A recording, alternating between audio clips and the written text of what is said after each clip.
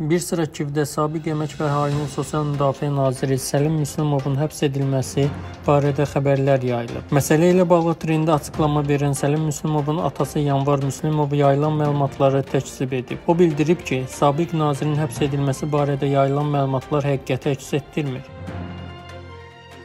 Bakıda məhsul bazarındakı qiymətlər açıqlanıb. 2020-ci ilin yanvar-dekabr aylarında ticarət dövriyyəsinin həcmi 2019-cu illə müqayisədə 0,5% artıb. Artımla birlikdə bu rəqəm 23062,2 milyon manat təşkil edib. Ticarət şəbəkəsində satılmış ərzaq məhsulları, içkilər və tütün məmulatlarının dəyəri əvvəlki ilin müvafiq dövrü ilə müqayisədə 6,4% artaraq 11775,9 milyon manata, qeyri-ərzaq məhsullarının həcmi isə 4,6% azalaraq 11286,3 milyon manata bərabər olub.